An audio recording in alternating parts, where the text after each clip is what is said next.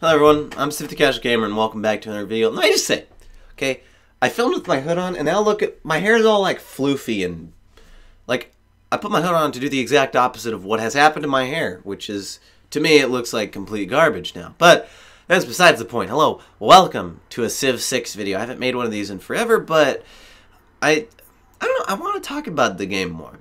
And something that I noticed that seems to me at least that I haven't thought about enough is there really was not a lot of content when the game first came out. Okay, so I um I own all of the DLC for this game. Okay, all of the nations, all of the the two DLCs, and I can tell you, Civ Six with the DLCs is super fun. Is it worth a hundred whatever I think it's like I've spent a total of $150 on this game. Because I know that the some stuff was at a discount. And I can tell you, this game isn't worth $150. Okay? Maybe with the DLCs, I would pay $100. Okay? 100 seems reasonable for this type of game. $60 at launch? Mm-mm. No, there was less Civs than Civ 5. There seems to be less everything. Okay? So there's less civs, right? Which you know, I wish that there was more you know, I you, you civilization games I think live and die on the amount of ways you can play them. Okay? So there's less civ games, which is already just not good. Then the maps there's less map variety in this game. Like uh, just to me it feels like there's less of a variety of like maps. It just it just seems that way to me. And that might be because I play on like usually 8 player maps. Sometimes I do 4 player maps, but like for instance, the game will do something where sometimes like chocolate, right? Will all be isolated in one area, which is kind of hilariously fun because then there's the chocolate war, right? Or sometimes it doesn't do that but it really doesn't do that at all. It usually only does it with one resource. Why not two, you know? Or maybe there's, you know, I've had some maps in previous Civ games where there's one giant biome, right? There's like a like a grasslands biome that just goes forever. Or there's like microbiomes.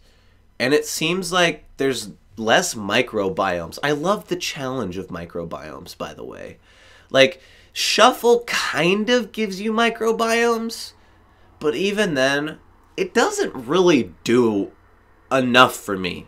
Like, I wish there was just a map that was microbiomes, right? Like, I wish you could custom, like, why can't you customize the biome size in this game, right?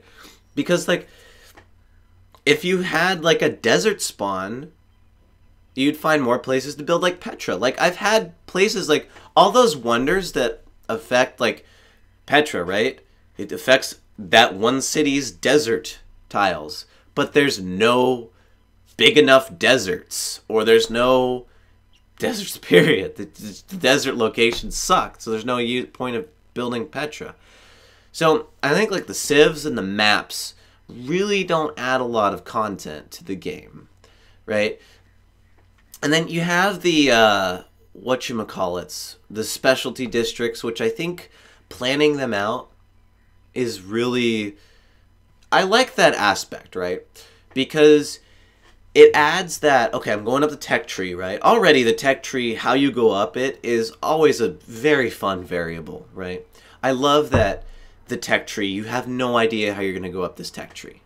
Right? You kind of have a plan with some people, right? Like when I play the Zulu, I usually always just get weapons and try to kill everybody. But um then you have that aspect of terrain where it's like, okay, you know, I don't have currency now, but I could get it by the time I build this settler in the city and there's this epic river that gives like a 4 plus gold, right? Or I could go to these mountains and get science. So I like I really love that aspect of it. Okay, I really really do like it.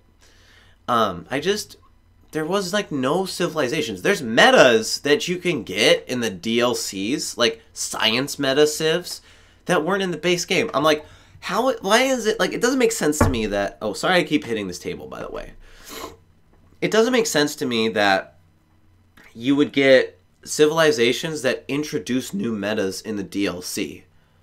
Okay, so let me give you an example. Seondeok, Korea, has a science meta there wasn't really a science meta civ before Seondeok that I remember, okay?